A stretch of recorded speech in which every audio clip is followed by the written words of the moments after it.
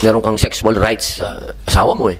So halimbawa, hindi mo naman pinipili eh kung kailan ka yung in heat, ano? So, paano yun? Pag ayaw ng asawa mo, so wala po ibang paraan talaga kung para ma, ano yung lalaki. So, paano yun? Babae ka na lang ba? Di kaso, kaso na naman yun. So, ano pong, ano pong, ah, anong pwede mo sabihin sa asawa mo na paano ako na wala sa batas? Paano naman ako? Wala ka sa mood. Paano ako nasa mood? Ano pong na pwede niyang gawin na nasa batas na wala naman siyang um, taong bayan, ang lalong-lalo ng mga lalaki, paano naman daw po yun? Kasi, opo, halimbawa, halimbawa lang po, ano, yung babae, yung asawa mo, eh, may, may mixed, ano eh, minsan kasi, ito totoo po to, ah, minsan, minsan akala mo nagpapalambing lang yung asawa mo. So, pa- paano mo masasabi, masasabi yung no is no? Eh, akala mo lang nagpapalambing o mahirap po ma-distinguish kasi minsan ng babae, minsan parang ayaw pero gusto naman. May ganun. Ano po ba yun? Ano po ba ang kawawa naman kami? Ang depensa namin. O kung kami naman halimbawa ang wala sa mood, pa, meron ba kaming karapatan magno? May, mahirap paniwalaan pero ako lalo, mahirap paniwalaan ako magno. Pero pa, paano pa pag nagno ako? Yung no means no applies to both genders. So pag sinabi ng husband, ah, no, hindi siya pwedeng i-force nung asawa. Halimbawa naman po, ah, wag naman po sana ano, halimbawa lang, nagkaroon na kayo ng marital problem, pwede po bang gamitin yon against doon sa babae o sa lalaki? Sabihin, hindi, kasi kaya naman ako nakikipaghiwalay dyan. Ah, dahil ah, tuwing ko, ayaw. Ganon. Pa- Paano po kaya? Pwede po ba yung maging ebidensya din yon? O ano? Yes po, because sa sa cases, for instance, yung case nung um, annulment ng marriage, ang ground nun is psychological incapacity. Yung basis ng psychological incapacity is yung mutual obligation ng mag-asawa of love and respect. Ngayon, part of part of love is showing your love.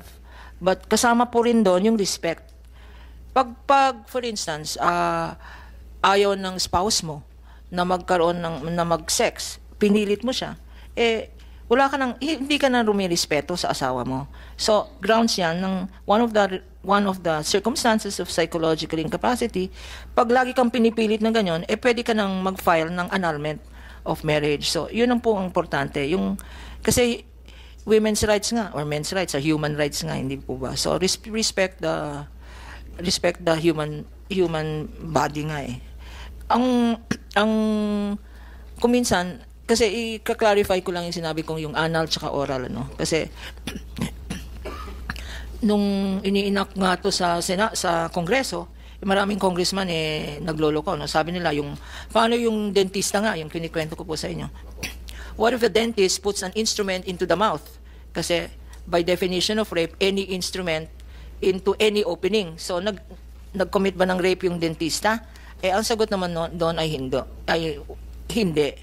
Because yung sa sa batas iba yung oral at yung anal sex. Sa oral sex um, sa anal sex pwedeng any instrument pwedeng so wag natin naman it, tinatawag i-trivialize yung crime ng rape. Wag naman ta- gawin wag tayong magpilosopo kasi seryoso po yung allegations of rape. At uh, even in this law life imprisonment yan. So, lalong-lalo na pag may qualifying circumstance, ang nakakalungkot po o nakakashock eh, sa panahon natin, incestuous pa. Yung either father and the daughter, um, either under the influence of drugs, no? Incestuous rape. Rini-rape ang sariling anak. Ah, yun ang dapat talagang bigyan ng malaking parusa. Yung incestuous rape.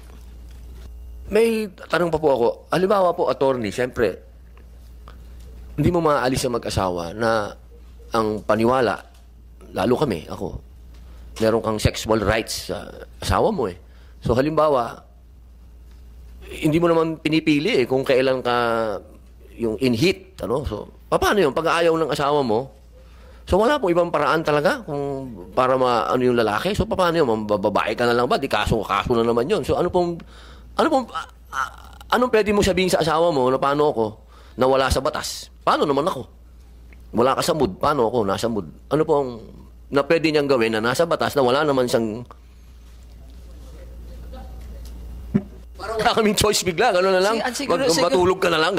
Siguro po ang issue doon eh hindi na legal no. Ang issue doon na, no- na yan eh psychosocial. Kung mang, legal, sa kung may- legal po. Alam mo, mapilit yung lalaki. Ano yung sa legal na pwede niyang gawin? Pwede bang, will you help me na lang? Ganon na lang. Tulungan mo na lang. Ang hirap po pag Tagalog kasi hindi mo masabi, baka bastos ang dating. Matulungan mo ba ako? O paano po kaya? kung, Anong pwedeng gawin na lang ng babae? Talagang no, no talaga. Bahala ka dyan sa buhay mo. Ganon. Kung minsan kasi yung yung no naman ng babae, hindi naman ano, hindi naman arbitrary, hindi naman ah kung minsan for instance, pwede, kung min, eh, kagaya ng well, yung instance na lasing yung asawa or under the influence of drugs, no? Ah, at gu- gustong makipag-sex with the wife, no? Siyempre, under that circumstance, magiging violent. Hindi hindi hindi out of love. Attorney, wala pong violent. Hindi po siya lasing. Out of ano lang po, of urge. Kasi ano po yan eh, no? Ah, siguro naman, sasang-ayon naman sa akin ng mga taong bayan pag sinabi kong may iba talagang urge ang mga lalaki talaga. May urge talagang nandun eh. So, pa, pa- paano yun? Andyan ng asawa mo to serve you. Ayaw niya. So anong paano anong pwede kong para hindi ako mareklamo ng asawa ko o ano pwede anong pwede kong sabihin sa kanya na ma- mahal o babe ano ba please help me in a counseling, way counseling po Counseling? kailangan. Kailangan po ng mga ganyan. Ang, ang counseling. O, magdasal na lang kayo. But, mali, i-correct ko lang po yung statement. Kasi yung urge, mga 30 minutes lang yung urge na yun na mabaliw-baliw ka eh. Di ba? Ano po bang- kayo ng Netflix, Oo. Korean telenovela. All I'm saying po, So mali- legally, wala po. wala po. Ba, Because sabihin mo sa asawa mo, help me. That, that's why way. it's important, yung issue ng mutual respect. Uh, if, if your spouse refuses, whether valid or hindi, respetuhin natin yung decision ng wife, ng wife or ng husband in that case. The other thing po is yung statement ng chair, with all due respect, hindi po hindi po obligasyon ng isang wife. Sabi mo is to serve the husband. Di ba, yun po yung, di ba, yun yung normal. I know. Yun, yun yung na-instill sa atin. In fact, idadagdag ko lang, no? Opo, opo. kasi maraming lalaki dito nakikinig. Sa family code po natin, inamend, ibang code naman to. Sa family code, we amended the family code to remove the obligation of obedience. Ngayon, kasi sa, sa old civil code, 1930s rin yung old civil code na yan, nakalagay dyan, the wife shall obey the husband. Ngayon, wala nang obey-obey ng husband. Pinalitan na yan. Opo, ma- attorney, dapat maano po natin yan. Kailan po yan na-revise?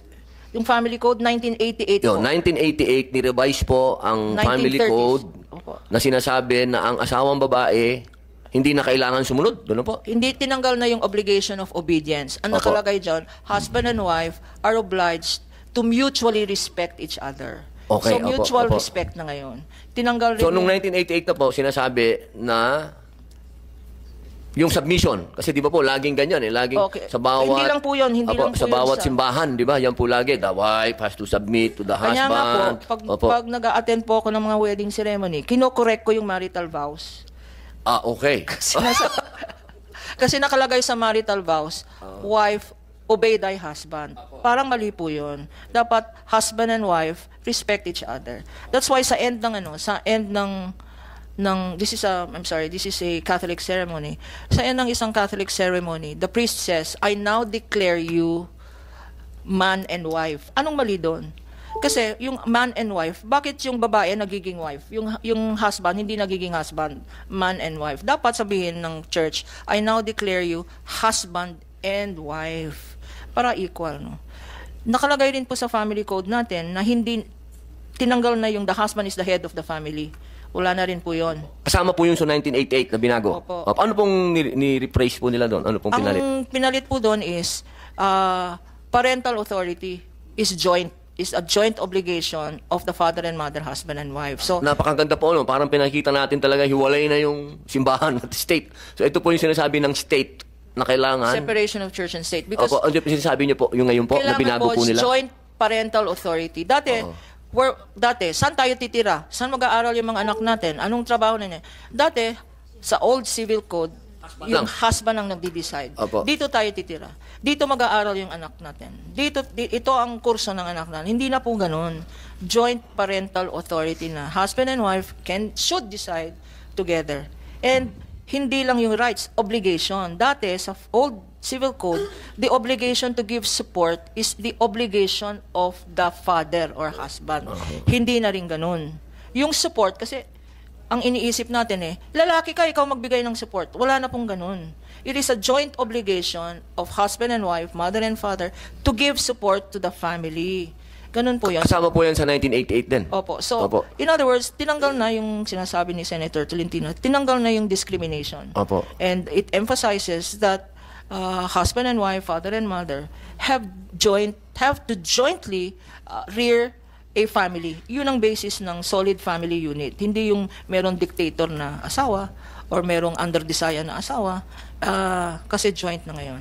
And that is reflected also, that respect in the civil code is also reflected sa revised penal code natin na binibigyan natin ng equal respect ang kalalakihan ah, na pwedeng maging biktima or ang kababaihan na pwedeng maging biktima. Opo.